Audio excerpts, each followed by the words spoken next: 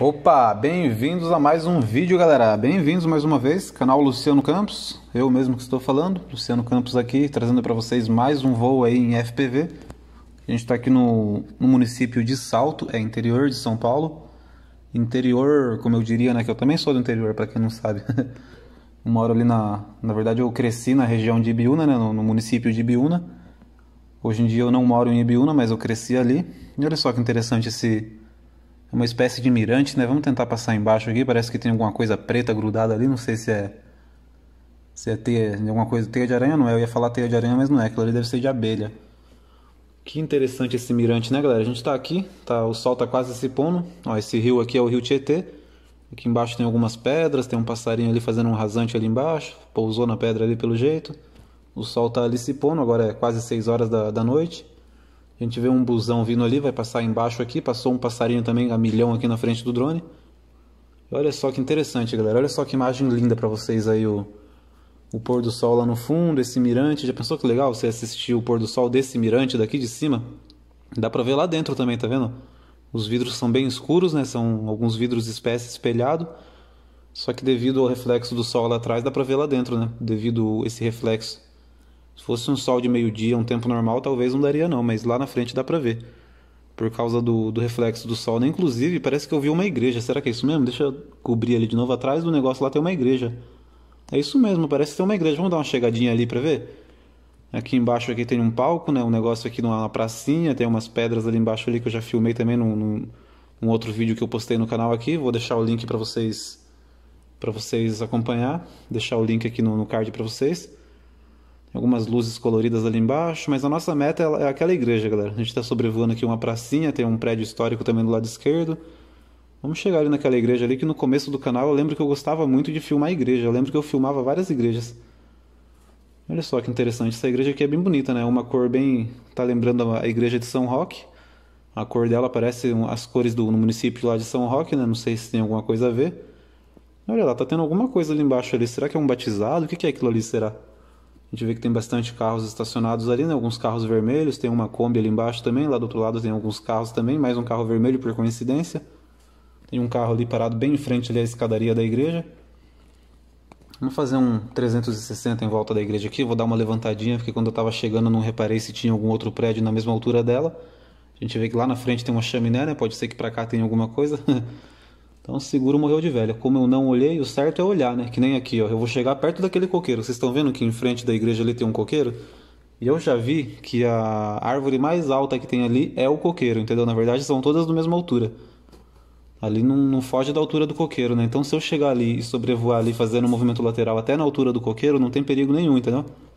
Que nem aqui, ó. Aquela chaminé lá tá bem longe, tá lá para trás de mim. Tô mantendo aqui o foco na, na, na, entrada da igreja ali, né? Dá pra ver que tem aquela noiva. Olha só que interessante, galera. Estamos aqui fazendo um voo aleatório. Eu nem sabia que ia ter esse, esse casamento. Na verdade, eu não sabia nem dessa igreja, da existência dela. não sabia que essa igreja existia. E a gente acabou achando aqui por coincidência. Olha só que interessante. Parece ter um casamento mesmo lá. Tem duas daminhas ali, tem uma noiva ali com um buquê na mão, um buquê bem bonito. Nossa, a noiva também é muito bonita. Olha só que legal. Será que aquele rapaz ali segurando a criança no colo, ele que é o noivo, será que é isso? Vamos ver ali, ou talvez seja um dos padrinhos, não sei. Olha só que interessante, tem umas mulheres ali com os vestidos vermelhos, né? Tem um cara ali que acho que é fotógrafo, tá com algumas câmeras ali penduradas no, no, no corpo dele, né? no acessório ali. Eu acho que é fotógrafo, foi boa. O cara tem um monte de câmera pendurada ali, eu acho que é fotógrafo. o padre que não é, né? É lógico que é o fotógrafo. Vai falar em fotógrafo, tem outro cara aqui embaixo também encostado no carro ali, não tem uma câmera ali com tripé.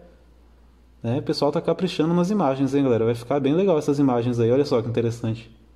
Depois eu vou até passar lá embaixo lá ver se eu acho essa noiva em algum lugar, né? Alguém que participou do casamento para mim compartilhar essa imagem com eles, que eu acho que eles vão gostar, né? Vou até caprichar aqui na imagem para eles. Olha só que legal. Fica aí como presente, né?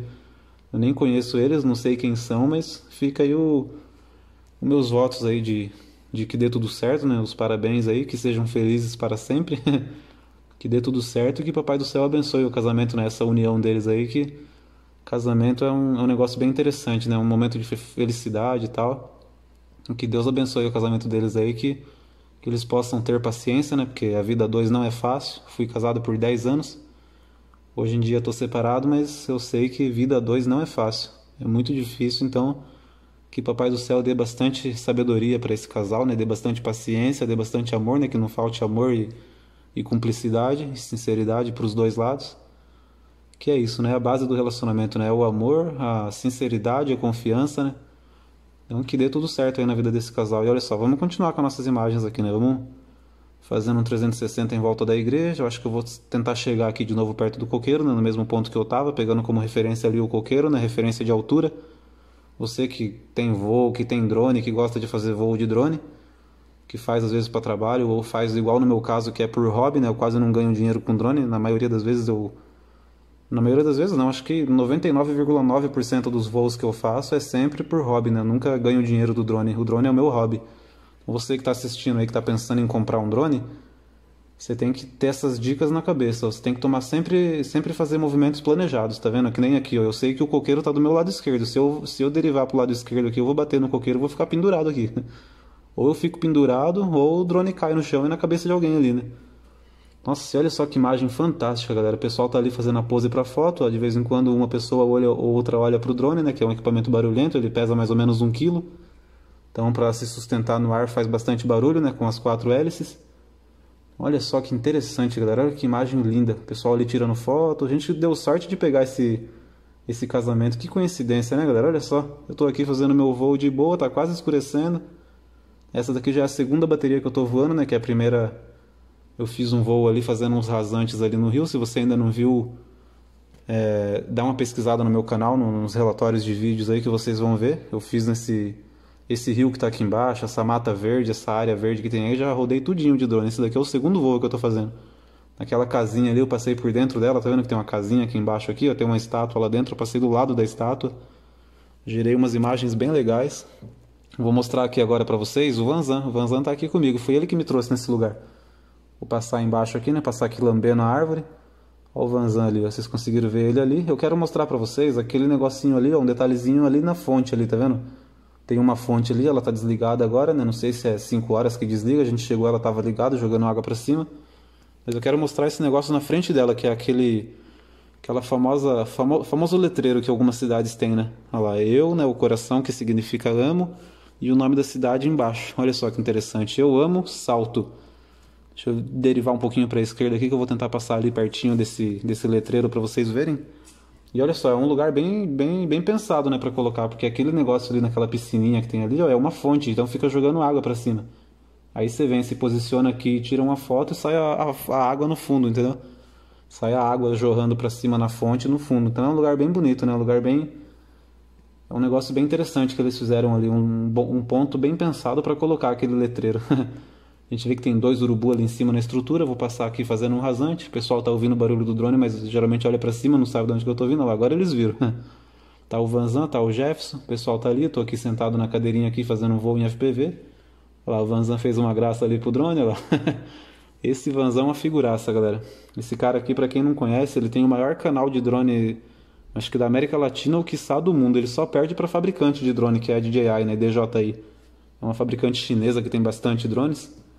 Ele só perde para ela. Então, se você gosta de drone, se você gosta dos meus vídeos, dá uma olhadinha no canal dele que com certeza você também vai gostar dos vídeos dele. Beleza, galera? É isso. Vamos fazer um vídeo aqui um pouco mais curto, né? Demos sorte, demos sorte de pegar o casamento ali. Espero que vocês tenham gostado aí de mais um vídeo.